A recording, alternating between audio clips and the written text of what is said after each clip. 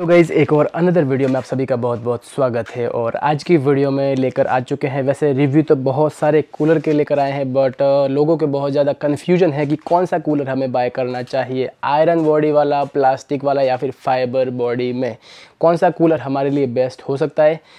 अगर fibre body वाला भी हम कूलर बाय करते हैं तो कितनी लाइफ होगी? प्लास्टिक की कितनी लाइफ है या फिर आयरन बॉडी की कितनी है? कौन सा कूलर कहाँ पर यूज़ कर सकते हैं? इंडोर आउटडोर कहाँ पर कर सकते हैं?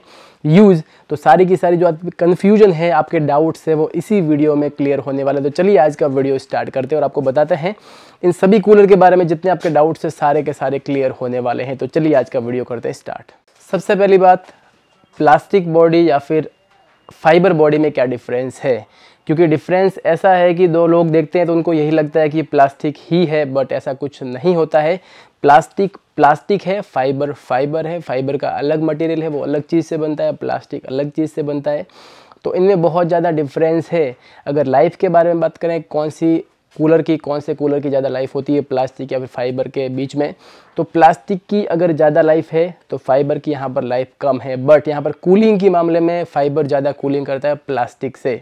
बट आपको लॉन्ग लाइफ वाला कूलर चाहिए तो आप प्लास्टिक वाला बाय कर सकते हैं। अब मटेरियल में क्या डिफरेंस है, आपको बताते हैं। हमारे पास यहाँ पर फाइबर में बहुत सारे कूलर रखे हुए हैं, वहाँ पर भी है। तो चलिए आपको बता देते हैं। इसका एक साइड का हम यहाँ पर पैनल ओपन करेंगे। यहाँ पर ये फाइबर बॉडी में है। तो आप यहाँ पर देखेंगे अंदर की साइड में। जैसे कि यहाँ पर कुछ अलग टाइप का जो मटेरियल यूज़ करके रखा हुआ है, ये फाइबर है। टी या फिर किसी अलग टाइप के मटेरियल से इसको बनाया जाता है। ये अंदर की साइड में यहाँ पर आप देखिए। अलग ही होता है पूरा ये फाइबर बॉडी वाला। और इसके ऊपर ज़्यादा हाथ भी रखेंगे तो हल्का हल्का खुरदुरा टाइप होता है, आप देखिए। बट ये पता नहीं लगता कि किस टाइप का मटेरियल है, किस चीज़ से बनाते हैं, वो मुझे आइडिया नहीं है। बाकी ये प्लास्टिक नहीं होता है। बाकी ये पानी को यानी कि नमी को बहुत जल्दी एब्जॉर्व कर लेता है, जिसकी वजह से कि कूलिंग बहुत ही अमेजिंग होती है। प्लास्टिक कभी भी नमी को या फिर ठंडक को एब्जॉर्व नहीं करता है। ये पूरा एब्जॉर्व करेगा तो आप सोचिए कि इसकी बॉडी इतनी ठंडी हो जाएगी तो इसकी कूलिंग कितनी बेहतर होगी। तो सबसे best cooling for ever fibre cooler की होती है। अगर आयरन बॉडी से भी हम कंपेयर करते हैं तो पर यहाँ पर फाइबर सबसे आगे है। सबसे पहले फाइबर जीत जाता है कूलिंग के मामले में। तो अब बात आती है आयरन बॉडी वाले कूलर की, कि मार्केट में हम जब आयरन बॉडी वाला कूलर बाय करने जाते हैं तो हमें कौन सा बाय करना चाहिए? वैसे इन सभी के जो काम है वो अलग अलग है, मैं आपको बताऊँगा कौन सा आप इंडोर आउटडोर में यूज़ करते हैं वीडियो के एंड में बता सकता हूँ मैं। बट अभी जो आयरन बॉडी के वाले जो कूलर है, उसके बारे में आपको थोड़ा बहुत मैं आइडिया दे देता हूँ। वहाँ, यहाँ पर हमारे पास रखे हुए हैं आयरन बॉडी में भी दो अलग वेरियंट है अलग अलग क्वालिटीज़ है। सबसे जो पहला यहाँ पर आप देखिए तो ये वाला कूलर है। यहाँ पर इसकी जो शीट है वो बेसिक नॉर्मल शीट है बेसिक नॉर्मल कलर है जो कि मार्केट में हर कूलर के ऊपर करके रखते हैं वो वाला, जो साइड में यहाँ रखा हुआ है, इसके ऊपर पाउडर कोटिंग है। पाउडर कोटिंग ज़्यादातर कूलर के ऊपर नहीं होती, जो गाड़ी वगैरह या फिर बाइक्स होते हैं, उनके ऊपर ही होती या फिर जो प्रोफेशनल जो प्रोडक्ट हैं, उनके ऊपर होती है, बाकी हर किसी पर नहीं होती। पाउडर कोटेड कलर का फ़ायदा ये है कि गाड़ी जैसे हीट एब्जॉर्व नहीं करती है बहुत जल्दी, वैसे ही एयर कूलर भी बहुत जल्दी हीट को एब्जॉर्व नहीं करेगा, आप इनको आउटडोर में यूज़ कर सकते हैं। तो ये एक बेहतर ऑप्शन है पाउडर कोटिंग वाला, ना कि नॉर्मल। और दूसरी चीज़ ये कि आप मार्केट में जब कभी जाए तो इसकी शीट देख लीजिए, यहाँ पर हल्की सी दबनी नहीं चाहिए या फिर बैंड नहीं होनी चाहिए हार्ड होना चाहिए। और यही इसका उल्टा होता है प्लास्टिक में। प्लास्टिक की जो सीट होती है वो बिल्कुल सॉफ्ट होनी चाहिए हार्ड नहीं होनी चाहिए। तो गाइज़ अब बात आ जाती है प्लास्टिक वाले एयर कूलर के बारे में। हमारे पास प्लास्टिक वाले भी यहाँ पर एयर कूलर ढेरों बड़े हैं पूरे, यहाँ पर बहुत सारे हैं।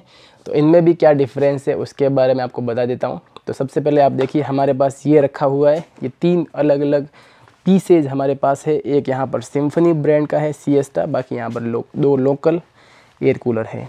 यहाँ पर सिम्फनी की खासियत आप देखिए यहाँ पर इसका जो प्लास्टिक है हम पुश करते हैं तो ईजीली ये बैंड हो जाता है या फिर मुड़ जाता है और फ्लेक्सिबल है। बाकी यहाँ पर जो लोकल है ये फ्लेक्सिबल नहीं होते हैं।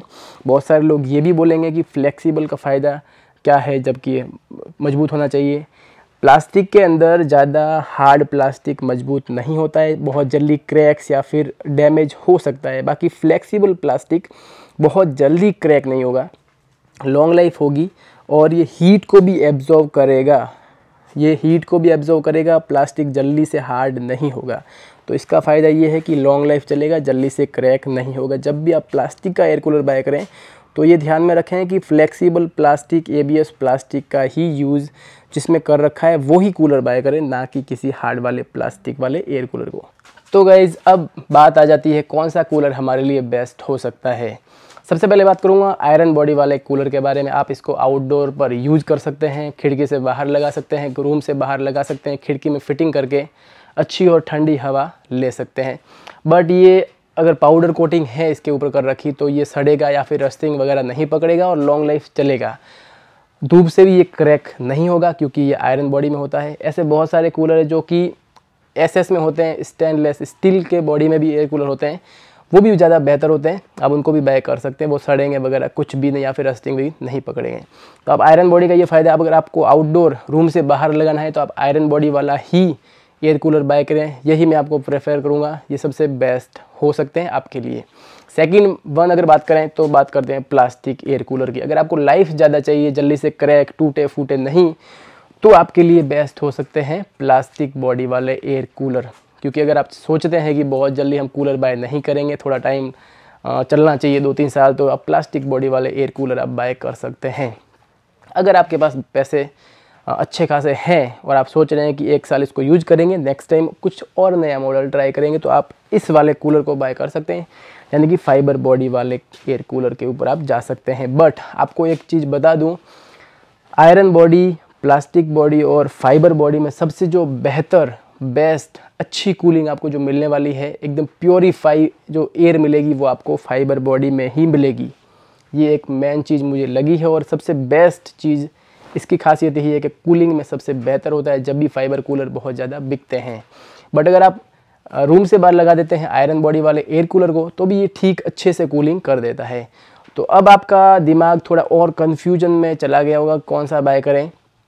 तो मैं आपको बता दिया, आपके रिक्वायरमेंट के हिसाब से आप कोई भी बाय कर सकते हैं। तो ये छोटा सा रिव्यू था इन कूलर्स के बारे में। हमारे पास बहुत सारे कूलर्स रखे थे, हमने रिव्यू कर दिया है।